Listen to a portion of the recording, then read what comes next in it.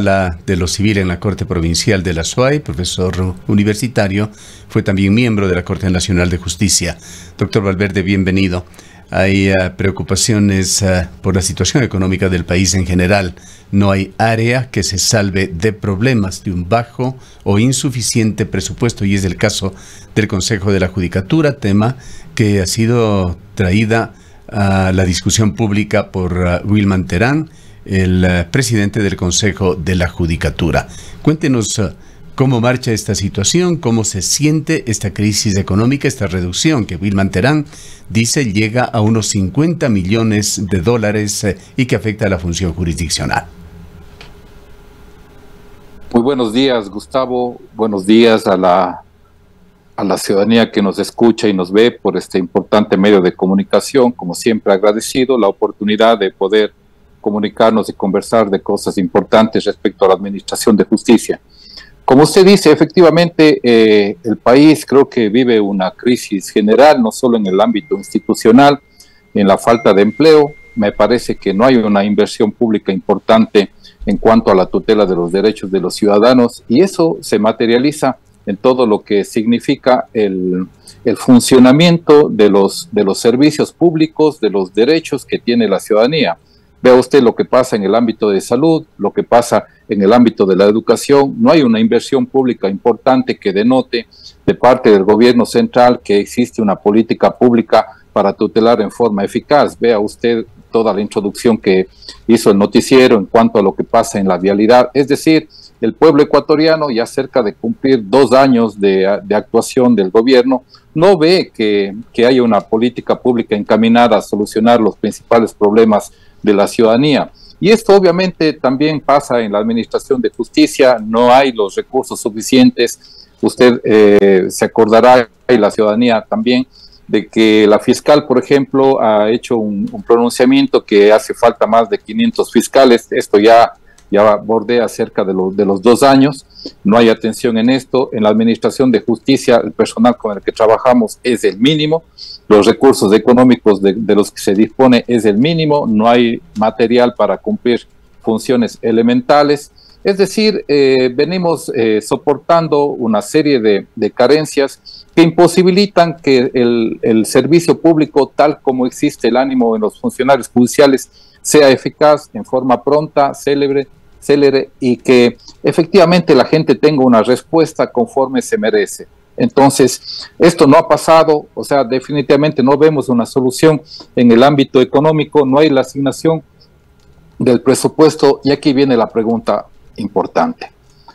¿Acaso esto no afecta la independencia de la Administración de Justicia?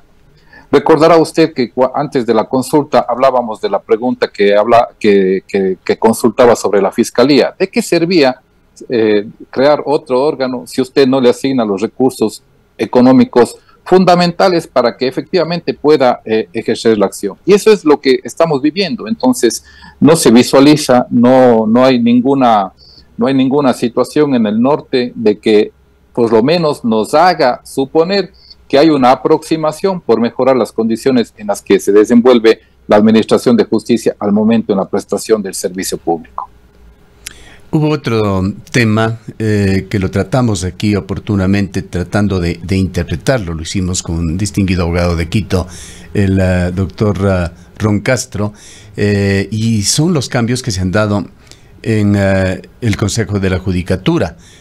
Terán, junto con los vocales Javier Muñoz y Maribel Barreno, posesionó también. Esto se dio entre la medianoche del 28 de febrero y, las primeras horas del primero de marzo a 22 nuevos directores eh, provinciales eh, y se habían dado cambios administrativos significativos eh, con toda la injerencia de carácter político que se ha tenido sobre el Consejo de la Judicatura con los acontecimientos de los últimos meses.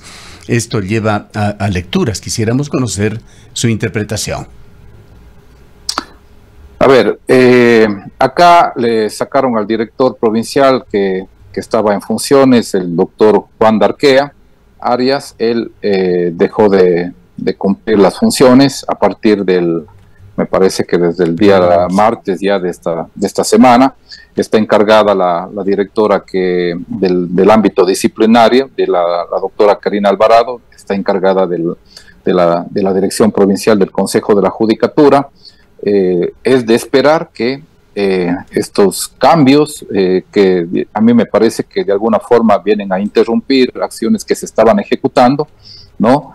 se los retome en forma inmediata, pues las, las, las situaciones que hay que, que, que, seguir con una, con una política que estaba trazada. Pero lo más importante, volvemos a la, a la situación y yo creo que esto es lo que, lo que van a, a vivir todos los directores provinciales, eh, no es una situación de cambio de, personas, sino es eh, la, necesidad de recursos económicos para poder atender. Hay, una situación también que aquí hay que puntualizar. No todo es, es parte económica. Eh, yo creo que la voluntad del ser humano, la voluntad del servidor público, hace todos los esfuerzos por prestar un servicio público eficiente y ahí tenemos que nosotros rendir cuentas frente a la ciudadanía de aquellas situaciones que ya no dependen de los recursos económicos. Pero en cambio, hay las otras situaciones que sí dependen de los recursos económicos y eso en cambio no se puede materializar mientras el gobierno central eh, a través del Ministerio de Finanzas no asigne los recursos económicos que son necesarios para poder implementar.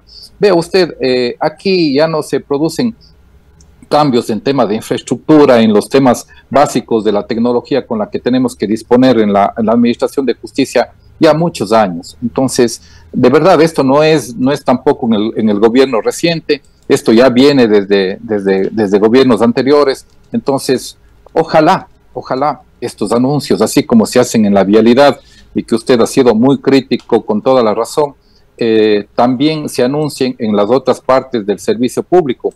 Porque como digo, o sea, ¿de qué, de qué, de qué nos sirve como ciudadanos si, por ejemplo, usted asiste a un a un, hospital público y no tiene las medicinas básicas, ¿de qué nos sirve si la gente no puede acceder al derecho a la educación? ¿De qué nos sirve si en la administración de justicia encontramos una serie de obstáculos, repito, materiales, aquellos que dependen de un presupuesto económico que no se pueden, que no se pueden ejecutar porque no hay la asignación respectiva. Ojalá la nueva autoridad, el nuevo presidente del Consejo de la Judicatura, eh, tenga la, tenga la, una, buena situación con el gobierno central, el gobierno central comprenda cuál es la situación de la administración de justicia, porque esto también se tiene que resolver técnicamente, es decir, yo voy a, demostrar cuáles son las necesidades para la prestación de un servicio eficiente, cuánto personal, cuánto personal no podemos, eh, no, no podemos tener debido a la falta de asignación de recursos económicos. Y aquí hay otra parte, vea Gustavo, que ya, ya es en el, en el ámbito, en cambio,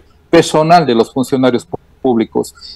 Usted ve que en muchas entidades públicas, cuando el funcionario decide retirarse porque se acoge al derecho a la jubilación, le dan la asignación eh, presupuestaria que está en el que está en la ley y que eh, la, la, institución sí dispone. En cambio, eso no pasa en la administración de justicia. Hay funcionarios que se quieren jubilar, que ya están cinco o seis años haciendo las peticiones anuales y le decimos y le dicen no tenemos el dinero. Entonces, todo eso ya a nivel personal sufre la Administración de Justicia por la falta de recursos económicos. Doctor Valverde, eh, muy buenos días si bien es vital para tener una administración de justicia que, que, funcione y que brinde estos servicios de manera oportuna a la ciudadanía, ¿cuánto pasa también por la calidad ética, moral, en este caso de quienes constituyen toda la administración de justicia, no solamente los, eh, los jueces? ¿Cuánto pasa por la formación de los distintos eh, profesionales para la aplicación de la norma? En estos días mismos se está viendo y ha habido una gran cantidad de, reclamos, de posiciones sobre la actuación de estos jueces que han dejado en libertad a dos femicidas de hechos lamentables que ocurrieron aquí en la ciudad eh, de Cuenca, ambos al parecer sentenciados alrededor de 34 años, un poco más de 34 años, y hoy están en libertad eh, luego de haber cumplido no más allá de cinco años de esta, de esta sentencia. Estos son temas eh, polémicos que de, de todas maneras requieren ser eh, analizados sobre qué es lo que está pasando con, eh, con la justicia. Eh, Rosana, buen, buen día. yo hice una distinción entre el trabajo que depende de, de, situaciones económicas, de recursos, pero lo otro no. Lo otro es prestar un servicio eficiente en la administración de justicia, en el trabajo que tiene ya que ejecutar cada juez en las causas que son de nuestro conocimiento, eso, el conocimiento, la imparcialidad, la prontitud, la celeridad, la, la, imparcialidad, eso ya no es un tema que tiene que ver con recursos económicos. Y como bien dice usted, es la formación profesional, la ética, la convicción de servicio público los que marcan el derrotero de cómo tiene que ser ese servicio público. Usted tiene toda la razón. Ayer yo leía en las redes sociales un comentario del abogado, yo considero que es un abogado, un profesional serio, quien llevó el, un caso de femicidio horrorizado, haciendo una declaración pública en las redes sociales, escandalizado de lo que ha ocurrido en ese caso con la liberación de la persona que estaba condenada por, por, por haber cometido la muerte de una persona. Entonces, él decía, yo dejo de creer en la justicia. Yo creo que tiene toda la razón. Y ese pensamiento seguramente, o sea, eh, el rato que hacemos como una cotidianidad el tema de la impunidad, nos acabamos como sociedad. Yo creo que vamos a celebrar, vamos a conmemorar el 8 de marzo. Estamos próximos a ese día. Yo creo que el mejor homenaje que siempre tenemos que hacer es eh, posibilitar las condiciones para que la mujer se sienta libre y pueda ejecutar todas las acciones eh, sin el temor de que algo le pueda pasar. Esa es una lucha diaria, esa es una, una lucha con convicción de todos los ciudadanos de este país. Pero lastimosamente, como usted dice, determinadas decisiones jurisdiccionales dejan en entredicho a la Administración de Justicia. Y eso no tiene, en primer lugar, no se tiene por qué generalizar, ¿no? En primer lugar. Y en segundo lugar, yo como juez mal haría en emitir una opinión sin ver el proceso.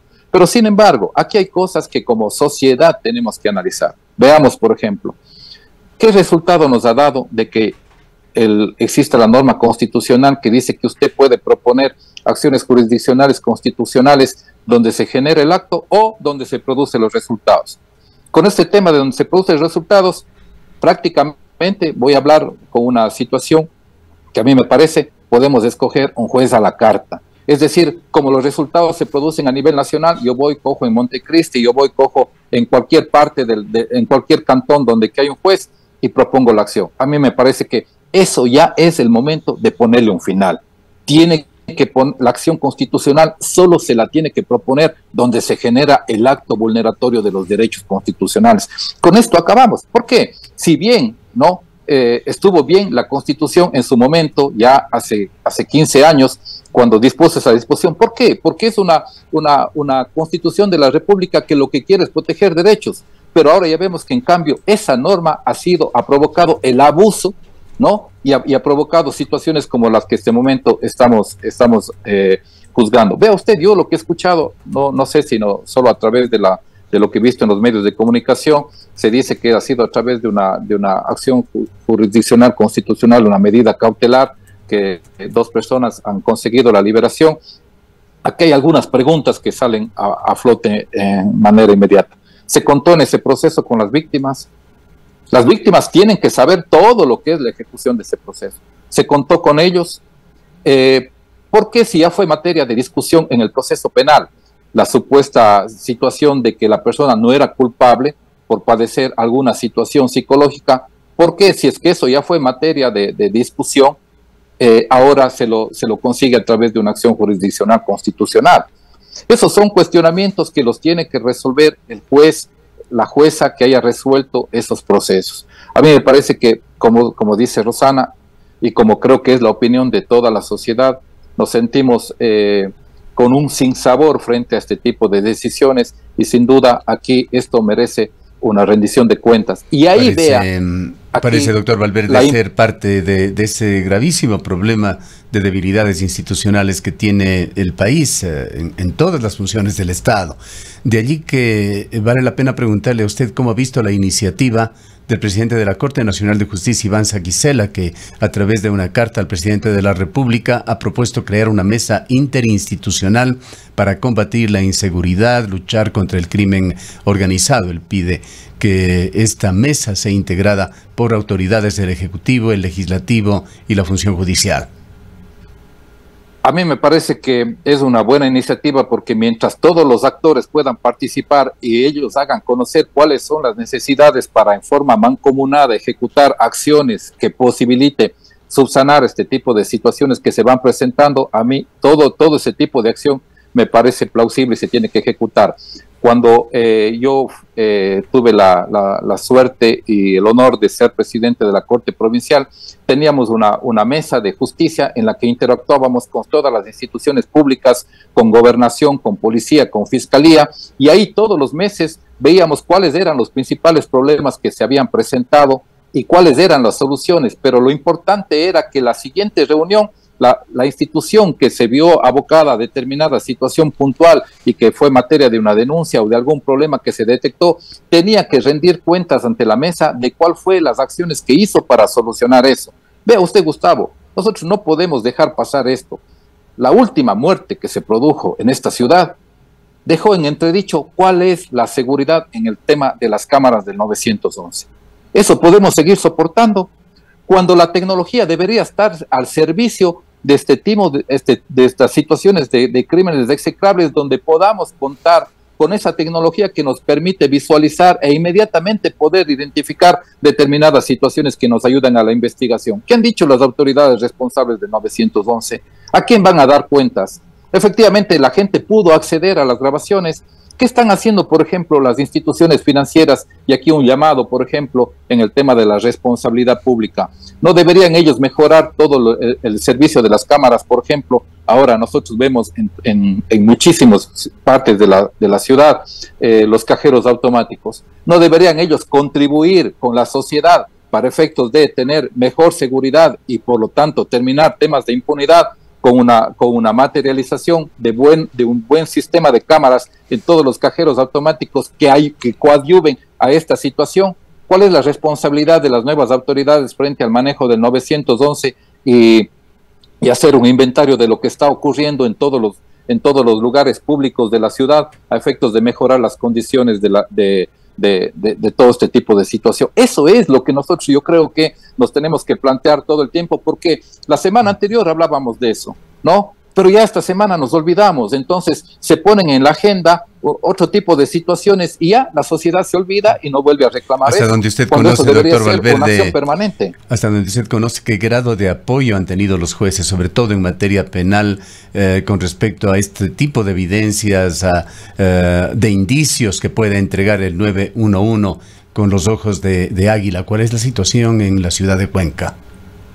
Mire, yo eh, no pertenezco al área penal, yo conocí esa situación antes, eh, cuando era presidente de la Corte, nos fuimos, a, nos fuimos a hacer unas visitas a 911, en algunas ocasiones estaba desarrollándose toda la tecnología e implementación de cámaras en un buen sentido, estoy hablando de hace unos tres años aproximadamente, cuatro años, ¿no? Entonces estaba implementando un buen número de cámaras, además con una posibilidad de aproximación, una tecnología de punta para que efectivamente sirva la, fiscalía, el señor fiscal provincial debería, ¿no? Debería un poco, eh, porque ellos son los encargados de la investigación, darnos a conocer cuál es la situación de eso en respecto a, la, eh, a, lo que pasa en el Cantón Cuenca, para trasladar, por ejemplo, precisamente a las nuevas autoridades que se van a, se van a posesionar y van a ejercer el cargo a partir de mayo, para que, vea, nosotros, nosotros preocupados de que tenemos situaciones de, de, de radares, ¿no? ¿Y qué, ¿Y qué pasa con las cámaras para, para, para, este tipo de situación? Eso es lo que deberíamos reclamar. Nuestra principal importancia debería ser que toda la ciudad no tenga esa, esa, esa tecnología de punta para efectivamente poder llegar hasta el último recóndito lugar cuando de investigación de este tipo de situaciones. Y no solo estamos hablando de, esos, de, esos, de esas situaciones execrables ya de crímenes, sino todo tipo que ayude a contribuir a la, a, la, a la, seguridad de la ciudad, porque lo que queremos es retomar una ciudad segura donde todos nos sintamos con la libertad suficiente de poder movilizarnos con toda la libertad porque no corremos riesgo en ningún sentido. Y la actuación de la policía también tendría que, yo creo, rendirse cuentas en cuanto a, a, una, a una vigilancia permanente de lo que, de lo que está pasando en la ciudad. En la parte final de este diálogo, doctor Valverde, quisiera tomar, eh, tocar un tema que sé que es muy delicado para usted. Em, el de Dandy Precious Metals, la compañía minera, que anunció hace muy pocas semanas un anuncio dirigido sobre todo a los socios de esta empresa, a los accionistas, de que se encuentra a la espera de una sentencia aquí en la ciudad de Cuenca eh, para ver eh, qué deriva toma este proyecto de Quimsacochi Loma Larga. Ha dicho que pausa su accionar, que ralentiza, ralentiza el eh, cronograma de este proyecto a la espera no solamente de esa sentencia, sino también de la firma de un acuerdo de protección para este proyecto con el gobierno nacional, así como la obtención de una licencia ambiental. Le preguntamos a usted, pues entendemos, usted es parte del tribunal que está decidiendo sobre una acción de protección relacionada con la explotación minera en Quimsacocha, Loma Larga. No pretendemos eh, ponerle a usted en una situación que tenga que prevaricar, ni mucho menos. Queremos solamente referirnos al tema de la cronología de este caso que se esperaba sea resuelta en pocas semanas. Hasta un mes se dijo, pero hasta donde recordamos, me parece que van dos o tres meses ya de esta situación y eh, por lo menos no hemos conocido que se, haya llegado ya a una decisión judicial. ¿Qué es lo que está pasando? Vea, eh, hay situaciones que están previstas en la Constitución de la República que dicen que hay grupos de atención prioritaria y preferente, hablamos de personas con discapacidad, adultos mayores, eh, personas, eh, mujeres embarazadas. ¿Qué es, lo que, ¿Qué es lo que ocurre en el ámbito de la, de la administración de justicia? Y esto eh, creo que es un buen momento para rendirle cuentas a la ciudadanía. Debido a la situación de desinstitucionalización de este país, muchos abogados han visto como el mecanismo efectivo para conseguir la, la que se restituyan derechos que han sido violentados a través de acciones jurisdiccionales constitucionales. ¿Hay un abuso de estas acciones? Claro que sí, claro que hay un abuso. Y hay una cantidad impresionante de acciones constitucionales que ingresan todos los días por todos los temas. ¿Por qué esta explicación?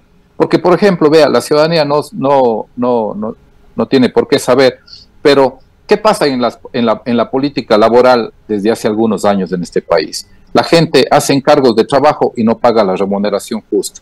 Todos esos trabajadores, de momento que van donde un abogado, dice, propongamos una acción jurisdiccional constitucional. Con esta explicación de la abundante carga procesal constitucional que soportan los tribunales de justicia del país, por eso se habla, y usted no solo habrá escuchado a jueces, sino a abogados en libre ejercicio, de la necesidad de implementar la especialidad de los jueces en materia constitucional. Situación que nadie la trata porque no es un tema de interés y además se requiere un alto presupuesto. Nuevamente, volvemos al presupuesto. Pero ¿cuál, qué, ha dicho la Constitución de la República? Que nosotros tenemos que ir resolviendo las causas en orden cronológico y solo priorizando las de grupo atención prioritaria y preferente. Tenemos una carga procesal abundante y el, obviamente ese caso y todos los que, los que están detrás están siendo estudiados por el tribunal y tendrán la decisión el momento que hayamos hecho el estudio, el estudio y tengamos, hayamos llegado a un consenso de cuál debe ser la decisión. De parte de la ciudadanía, tenga la seguridad que en el hay los jueces, los jueces no trabajamos ocho horas. Eso es una quimera. Nosotros trabajamos aproximadamente 12, 14 horas al día y aún así no logramos ponernos al día en el despacho. Y eso les consta a los abogados en libre ejercicio profesional, la carga procesal que soporta.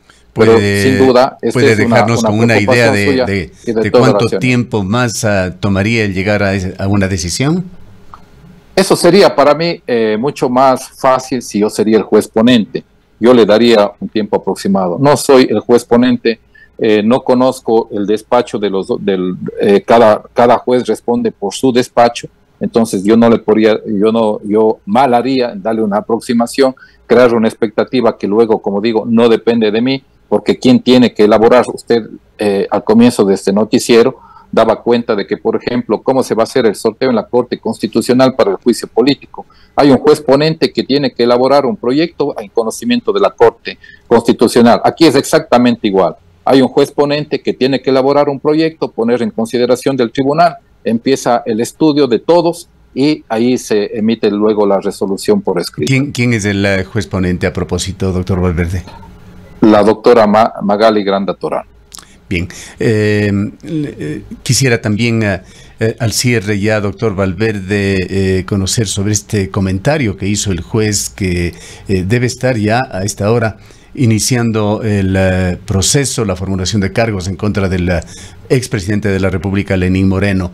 Se hizo una postergación, se acogió el pedido de abogado solamente por, por horas para ajustar las formas a, un pedido y, no caer en situaciones que puedan anular el juicio, pero el juez hizo pública una crítica a lo que denominó la utilización de argucias para lograr dilaciones innecesarias, que parece ser también una práctica muy arraigada en la Administración de Justicia en Ecuador. Los abogados eh, colaboran para que la Administración de, eh, de Justicia sea pronta, eficiente, pero vea usted, también hay los otros abogados que no tienen un comportamiento moral, ético, que es lo que reclamaba Rosana respecto a los jueces.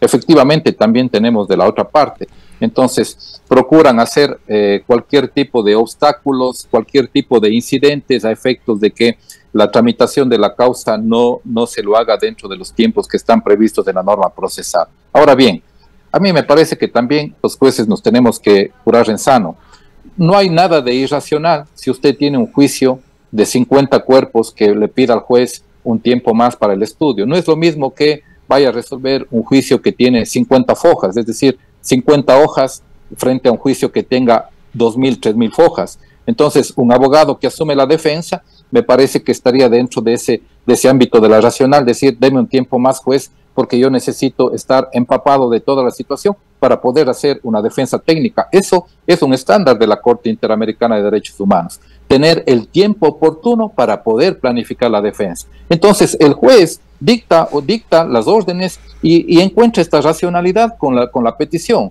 Pero si usted estaría frente a un proceso chico, no tendría por qué darle esa situación. Acá también nosotros tenemos que, hay abogados que vienen y dicen, recién asumo la defensa en la audiencia y yo necesito tiempo. Hay que darle, hay que darle. Pero como digo, hay también esas conductas dilatorias y los jueces sí tenemos las herramientas que nos da el ordenamiento jurídico para detener y no hacer que eso eh, obstruya y sea un obstáculo para una decisión pronta. Que, creo que es precisamente lo que el juez actuó. Ve ayer, por ejemplo, dice en la mañana, en la tarde, mañana. Es decir, va solucionando los problemas, pero tampoco los extiende en un tiempo que ya podría, para que los, para que los abogados digan, aquí encontré un juez que yo lo puedo manejar y que esto va a ir luego de un mes. Entonces, yo creo que esas, esas conductas dilatorias sí se producen, pero los jueces, como digo, sí tenemos los mecanismos que nos da el ordenamiento jurídico para poner un pare, pero también tenemos que cuidar los estándares internacionales de lo que debe ser tutelar en forma eficaz el derecho a la defensa de toda persona. Bien, te agradecemos mucho por habernos acompañado, doctor Valverde. Como siempre, un gusto, que tengan un muy buen día. El doctor Pablo Valverde es eh, juez de la Sala de lo Civil en la Corte Provincial de la SUAY, es académico y fue eh, integrante de la Corte Nacional de Justicia